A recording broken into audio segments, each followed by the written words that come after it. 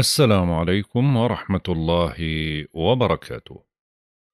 اليوم حلقتنا من الأخبار الفلكية عن انتقال كوكب الزهرة اللي راح ينتقل يوم الأربعاء من برج العذراء لبرج الميزان. طبعا كوكب الزهرة زي ما دائما بنحكي عنه هو كوكب الحب والجمال والغراميات وفي كثير من الإيجابيات لأنه هو يعتبر السعد الأصغر طبعا الآن آه، كصفات كوكب الزهرة إيجابيا لما بيكون سعيد بيعزز العاطفة الحب الانسجام المال الجاذبية التفاهم الميول الفنية. ولكن لما بيكون سلبي أو بيكون منتحس بيعزز نقطتين وهي الغيرة والعنادة.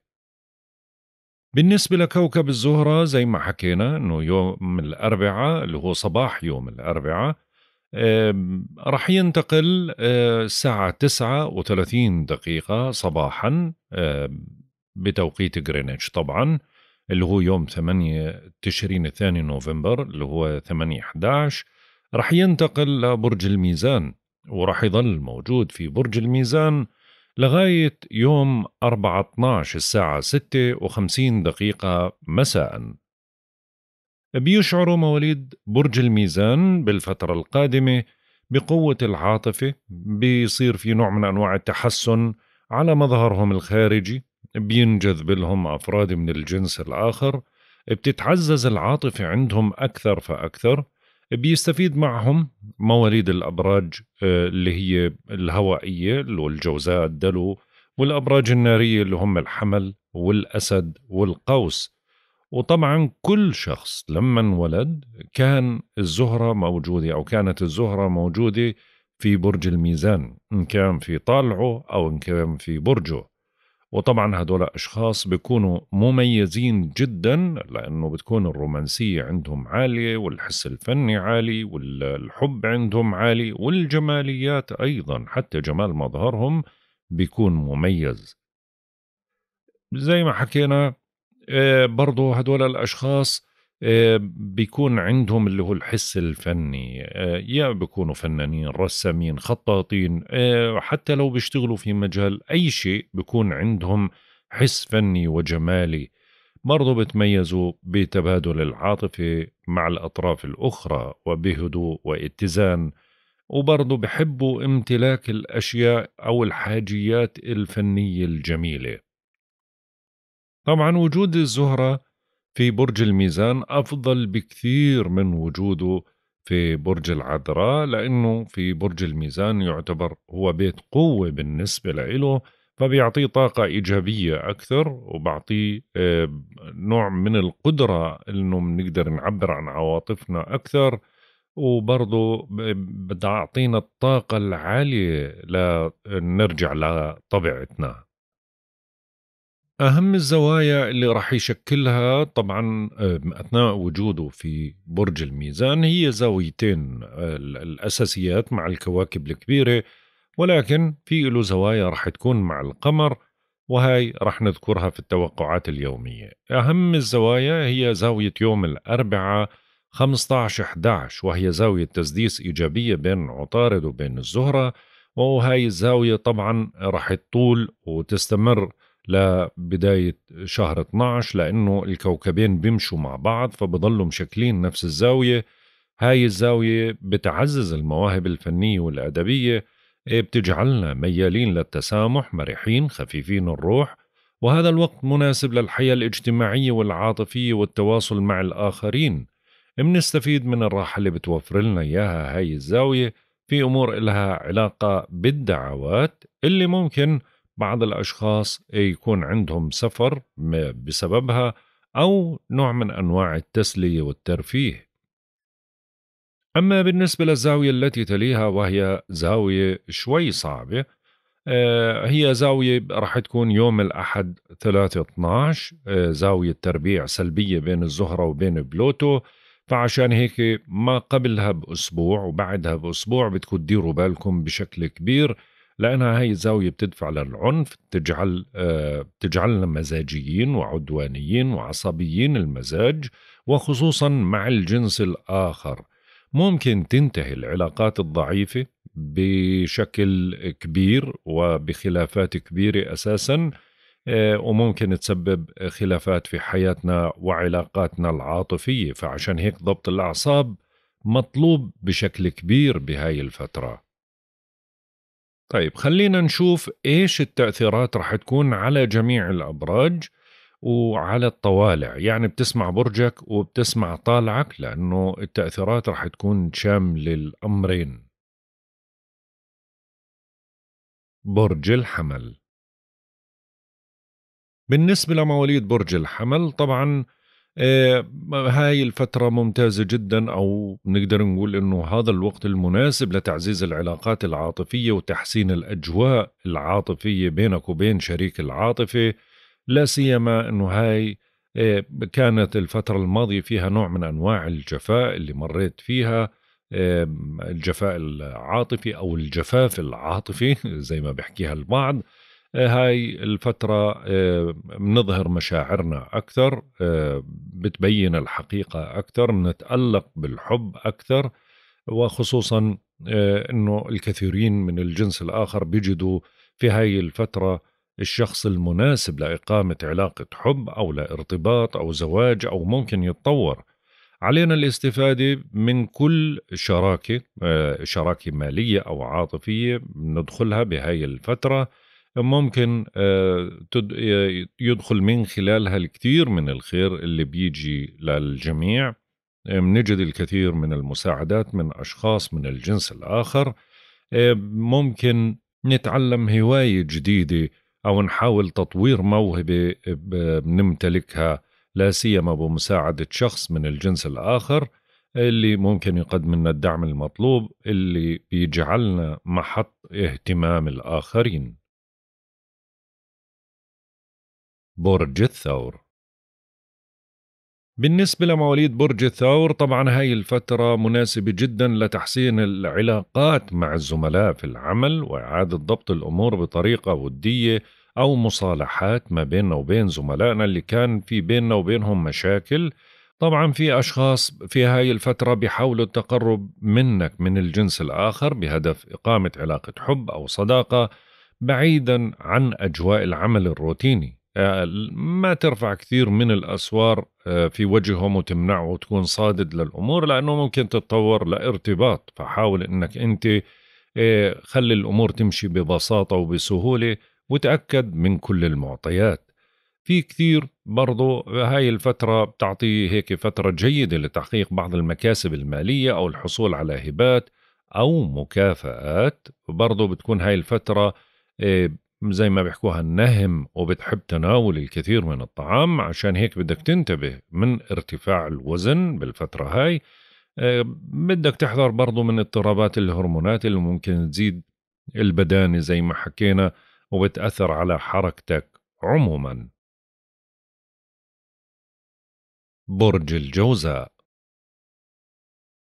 بالنسبة لمواليد برج الجوزاء طبعا كثير كثير من اللي كانوا يشكوا من التململ والعاطفة وقلة العاطفة وقلة الحظوظ آه، المشاكل ما بينك وبين الأحبة أو أفراد العائلة أو الأبناء. في هاي الفترة طبعا الأجواء رح تتغير تماما في فرصة مناسبة مليئة بالحظوظ والفرص العاطفية والمالية. بإمكانك البدء بعلاقة حب حقيقية هاي الفترة. أو تحسين وتدعيم علاقاتك مع الشريك العاطفي وإعادة الأمور لمجاريها الطبيعية إيه، بتكون محط اهتمام صديق مقرب لإلك اللي ممكن يغمرك بالمحبة أو الاهتمام أو يدخل البهجة لقلبك. برضو هاي فترة ممتازة جدا لممارسة هواية أو الترفيه أو الاهتمام بالنفس أو التجميل برضو. آه، النساء اللي عندهم مشاكل بالحمل أو بيرغبوا بمولود جديد هاي فترة مناسبة إما لعملية الزراعة أو أخذ العلاجات المناسبة لهذا الموضوع. يعني أجواء راح تكون إيجابية وبرضو علاقات حب ممكن تتطور لارتباط. برضو في فرص مالية بتيجي عن طريق أموال مشتركة أو هبات أو زواج أو زوجة أيضا يعني برضو هاي الأجواء بتدعمك بشكل كبير. برج السرطان. بالنسبة لمواليد برج السرطان طبعا هاي الفترة بتناسبك للقيام بتعديلات منزلية أو بيع أو شراء شقة أو عقار أو المتاجرة ببعض الأملاك. كمان هاي الفترة ممتازة جدا للعلاقات العائلية أو المنزلية وإعادة ضبط الأمور ووضع القوانين العائلية ولكن بطريقة محببة بعيد عن التشنجات. لا تبالغ في فرض ذاتك أو شخصيتك على الآخرين أو الابتعاد عنهم. آه، كون دائما وسيط بعيد عن المبالغات. آه، في نوع من أنواع الأرباح اللي ممكن تيجي عن طريق شخص من الجنس الآخر. ممكن تصلك رسالة مفاجئة من أحد الأشخاص من الجنس الآخر. وبتحسن من مزاجك وبتفرح قلبك بالفترة القادمة. برضو هاي الفترة ممتازة لإدخال ديكورات أو تعديلات على المنازل وفي أشخاص بيكونوا مسافرين أو مهاجرين بيرجعوا لبيتهم أو لبلدهم الأم وتعزيز العلاقة الكامل على مستوى البيت وفي أشخاص كثير رح تدخل الفرحة أو السعادة لبيوتهم. برج الأسد. بالنسبة لمواليد برج الأسد طبعا هذا الشهر ممتاز جدا على مستوى التواصل والاتصالات والعلاقات والامتحانات والتجارة المحلية وأيضا العلاقة مع الإخوة والأخوات والجيران. يعني الأجواء راح تكون فيها كثير من الإيجابيات وخصوصا على مستوى التبادل التجاري القريب اللي هو داخل البلد نفسها واللي بيشتغلوا بالمحلات التجارية أو عندهم تجارة معينة وخصوصا اللي بيشتغلوا بالإلكترونيات والسيارات. هدول رقم واحد راح يستفيدوا من هذا الموضوع. وبرضه بتعيد لكم أرباح يعني في نتيجة للأرباح. آه، بإمكانك وضع النقاط على الحروف. آه، لا أي أمر في حياتك بهاي الفترة لأنه بتكون عقلاني أكثر. وتحسين علاقتك آه، بالوسط المحيط فيك خصوصا لو كان في مشاكل بالفترة الماضية الآن في عندك قدرة على الإقناع والحوار والنقاش وأنت مقنع جدا. ممكن تتوصل لكثير من الحلول المرضية بتجد الكثير من الأشخاص اللي بيحاولوا أنهم يتواصلوا معك بشكل فعلي إيه، برضو بتحمل هاي الفترة انفراجات قريبة جدا فيما تسعى إليه. بتجعل فما تخلي اليأس أنه هيك يتسلل لقلبك وكون على يقين بأنه في أمل بيطل عليك بهاي الفترة القريبة. كثير من مواليد برج الأسد ممكن يسافروا سفريات سريعة أو حتى تواصل عاطفي قوي جدا بيكون بينهم. برج العذراء بالنسبة لمواليد برج العذراء طبعا يعتبر هذا الشهر هو شهر المال والمعاملات البنكية والقروض. كثير من الأموال رح تجيك. أغلب هاي الأموال عادة بتيجي من عمل إضافي أو مستردات هبات دعم هدايا أشياء من هذا القبيل. ولكن زي ما حكينا بدك تعتمد على مجهودك الشخصي. إيه، تسترجع بعض المستحقات القديمة أو الديون المستعصية في هاي الفترة. بتنفتح أمامك قنوات عديدة لكسب المال. ممكن تعرض عليك بعض العلاقات المالية إيه، أو العروض المالية من قبل أشخاص من الجنس الآخر. أهم إشي أنه ما تتأخر في قبولها أو قبول ما يقدم لك بدافع الحب والمودة. هاي الفترة جيدة للقيام بإنهاء بعض الأوراق القانونية معني هوية جواز سفر معاملات رسمية أشياء من هذا القبيل. برج الميزان.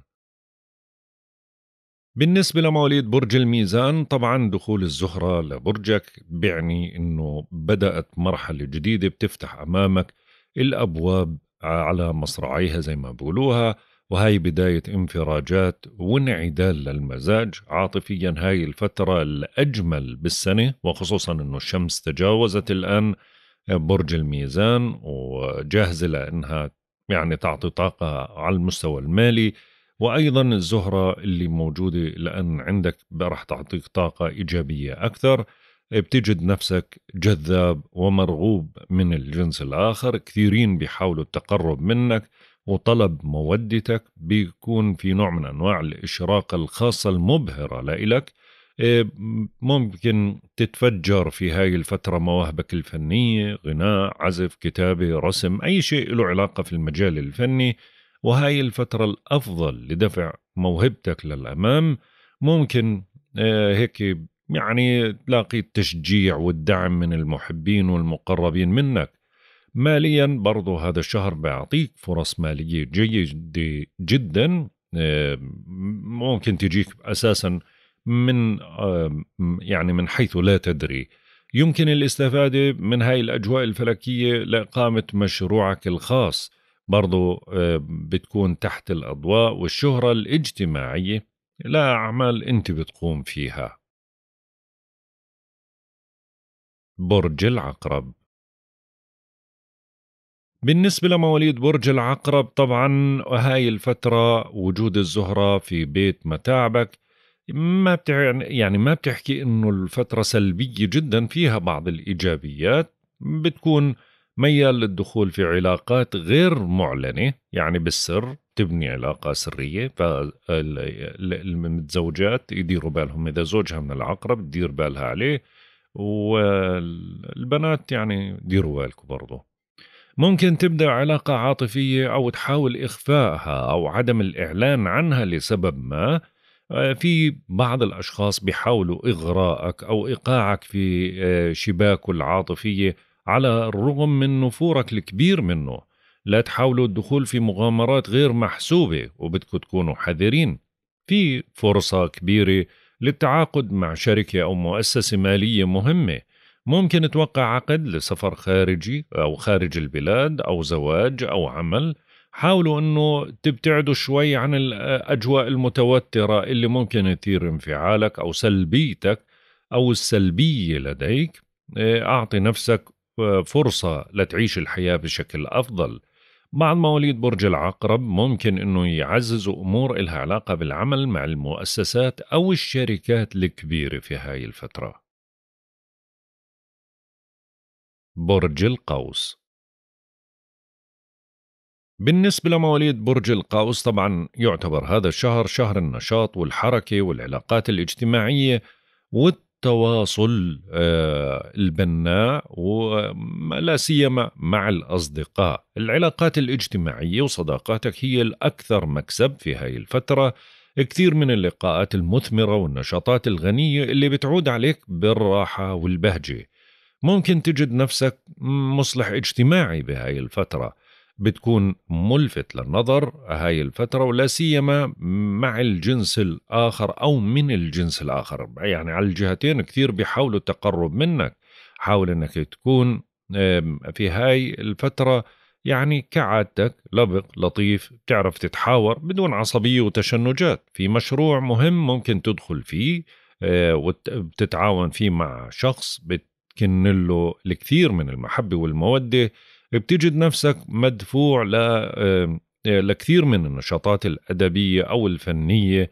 آه، إذا كنت طبعا في هذا المجال بتنشط بشكل واضح فيه وبتكون يعني محط إعجاب المحيط فيك.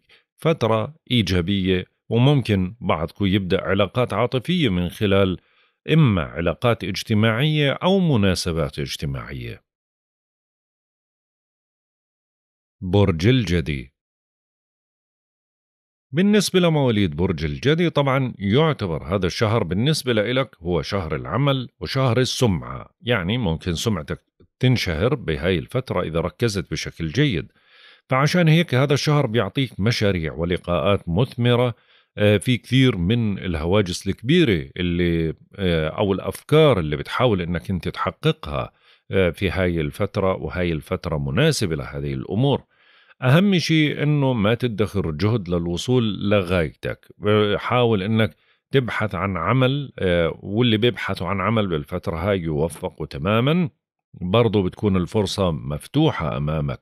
آه، هذا الشهر جيد ومناسب لعمليات الجراحية والتجميلية واتباع البرامج الغذائية المدروسة. عاطفيا آه، على الرغم من إنه هاي الفترة مش الأفضل عاطفيا لأنه هاي بتركز على السمعة على علاقاتك على عملك على ترقية ترفيع إيه، شغلات زي هيك إلا أنه برضو ممكن تجيك بعض الفرص العاطفية ولكنها ما بتخلو من بعض اللقاءات اللطيفة اللي بتفرحك. فعشان هيك اللي بدهم الشهرة هذا شهر الشهرة إذا اشتغلت على نفسك بشكل جيد. برج الدلو بالنسبة لمواليد برج الدلو طبعا إذا كنت بترغب في السفر آه، بدك تهاجر مثلا أو بدك تسافر خارج البلاد آه، هاي الفترة الأفضل لهذا الموضوع وخصوصا حتى الأشخاص اللي بيشتغلوا في مجال الاستيراد والتصدير أو الدراسة الجامعية العليا هاي فترة مناسبة لهاي الأمور كلها وحتى للأوراق والمعاملات اللي بتتعلق في هاي الأمور. برضو في كثير من الفرص للانتقال أو السفر خارج البلاد أو للعمل أو لمتابعة الدراسة الأكاديمية مثلا ممكن تتلقى كثير من المساعدات من أشخاص بيقيموا خارج البلاد أو أجانب ممكن تلتقي ببعضهم وتكون لقاءات مثمرة جدا في التوقيع على عقد أو إبرام صفقة ناجحة برضو هاي الفترة اللي بيكون عنده آه، دعاوى قضائية ممكن الآن الدخول فيها آه، لأنه آه، ممكن أنك تحلها سلميا أو تراضي أو تكون لصالحك حتى. أما عاطفيا الأجواء مناسبة جدا لتعيش مع شريكك العاطفي فترة حميمية جدا أهم إشي آه، إنه برضو بعض مواليد برج الدلو ممكن يبداوا علاقة عاطفية لا سيما مع أشخاص غرباء أو أجانب أو بيقيموا خارج البلاد أو في مكان بعيد عنك. يعني الأجواء راح تكون مميزة. برج الحوت.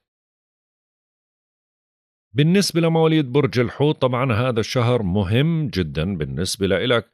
وخصوصا على مسائل لها علاقة بالشراكات المختلفة. يعني وخصوصا الشراكات المالية. يعني عاطفيا تعطيك ماليا تعطيك عمليا بتعطيك. في هذا شهر مناسب للحصول على تعويضات أو مطالبة بترقية أو تحسين وضع اجتماعي أو آه، عملية جراحية مثلا. يمكن الدخول في عمليات بيع وشراء وتبادل عقارات أو تغيير آه، المسكن أو تحسينه.